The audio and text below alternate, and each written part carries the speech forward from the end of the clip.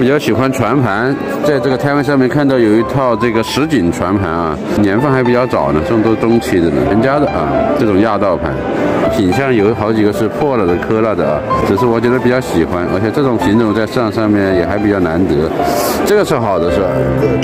这个对，这个应该是当时家里面的一整套啊，这还不是拼起来的，虽然有点毛病，这个我就想看能不能拿去修补一下，还还得把中间那个找到。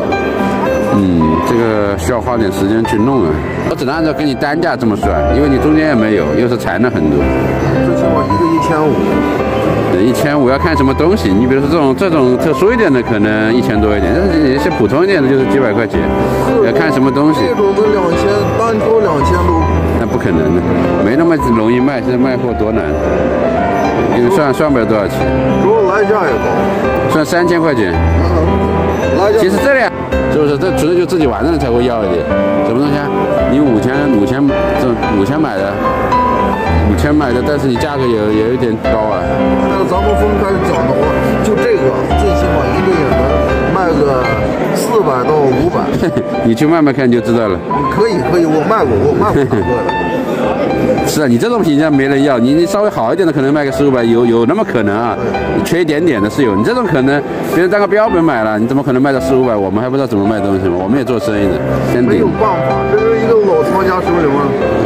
老藏家，老藏家怎么都都玩成这样了？没毛病吧，今天下午就是六百多一个来的。你这个肯定谈不到六百了，这个算六百差不多，因为有毛病的差不多六百差不多。但这个你看六六六六三千六。但是你这两个肯定谈不到六百，这两个就是最多三百，最多三百一个，就再再加个六百。但是我是一共是一个六百多。我知道，我知道，我给你算这个账嘛。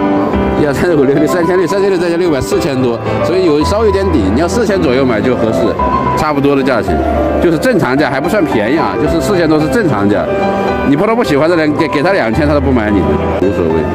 哎呀，我这个就很难给你买啊，这个五千多买来的，这个因为这一套船盘我是有一些。船盘情节的，所以一般碰到好的船盘，我会看一眼，跟你们讲一讲这里面这一套东西应该大概值多少钱，然后多少钱可以买。好的船盘我也匀过你们，很好的同志人物的船盘我也卖你们大几千，人物的啊，全品的。我玩船盘很多的，所以我我知道这些东西的质量。我我建议你，哎呀，有时候你分开卖也可以，拆开卖，慢慢卖，还还能卖出你的本钱出来。你这么卖可能卖不出本钱来。我觉得啊，我建议你。我还是不想分，那倒是，就但是你得凑到中间那个，你就你就整套卖可能会提升价值。中间那个可以买的，我知道有个人手里面有，但是卖的贵，卖给我们要四千多块。不要不要，哎呀，你们买东西还是有点，别走了，谢谢了。五千多一块船牌，你们说值不值？